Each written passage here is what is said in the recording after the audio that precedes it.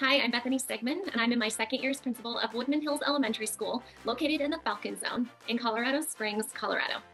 As I reflected on this nomination, I knew my beliefs and leadership philosophy could only be described in a few ways boots on the grounds, in the arena, and walking alongside our amazing educators on our Empower FC journey. As we began to build a learner center culture at Woodmen Hills, we instantly started modeling.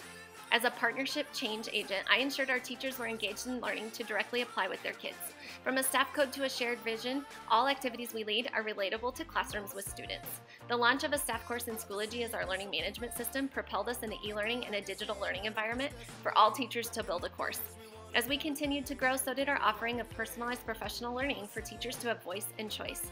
This impacted building wide change full of trust and a table turner to them offering voice and choice in classrooms. Teachers utilize a playlist and beginning learning plan, also now bridging into an advanced learning plan for modern teacher modules in goals 3 and 4. This personalized approach sparked systemic change, and all teachers are nearly complete with modern teacher professional learning. Our teachers felt compared to share in leadership on this journey, and volunteers rose to the challenge to now have teacher leaders as Empower FC coaches on each team.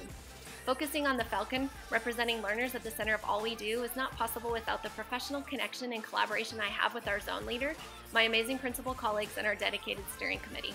I've led with the same mission, putting all Woodmen Hills teachers at the center of all I do, so they can in turn elevate, engage, and enhance student learning in their classrooms.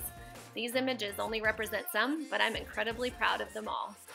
While high hopes are certainly one way to set a vision on fire, I'm incredibly thankful to lead a staff full of all in mentality for whatever it takes for our kids. This fierce dedication truly sets Empower FC and Woodmen Hills apart. Thank you for this opportunity to share a little more about myself and my leadership at Woodmen Hills Elementary School, the school I feel is the best on earth.